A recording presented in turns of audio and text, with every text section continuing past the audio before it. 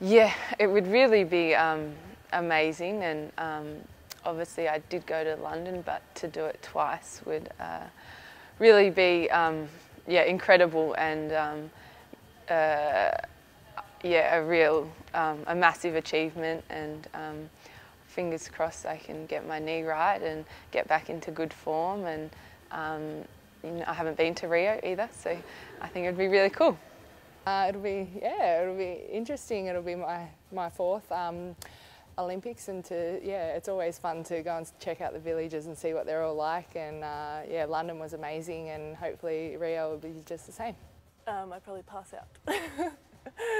I would probably pass out if I went to the village. Um, I'd probably be like speechless, don't even know what to think. I'd probably just like like take it all in. Like I just don't even know what I'd do. Like I just oh be amazing just to step inside the village.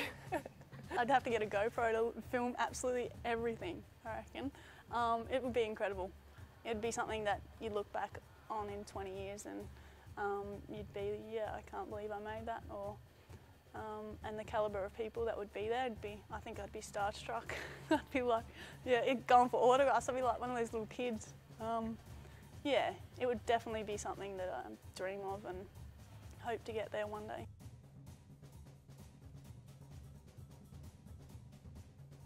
At the moment we're just focusing on New Zealand, we've got to actually beat them to qualify. So that's in August and um, that's our target at the moment and then we'll worry about um, Rio later on. yeah, well, of course, you've got to um, make the Olympics first, so um, it's really important for the team, and um, I think Brendan's really, you know, uh, training the girls hard and, um, you know, making it a big emphasis to be in good form and be ready to go for that series. So uh, yeah, we'll need to um, make sure we get those wins and then move on and talk about the Olympics. If I made that team, I don't know, I'd, yeah, it'd be incredible and I don't know, I'd have so many people to thank and stuff, but it's certainly a long way to go um, and I'm just looking forward to the journey.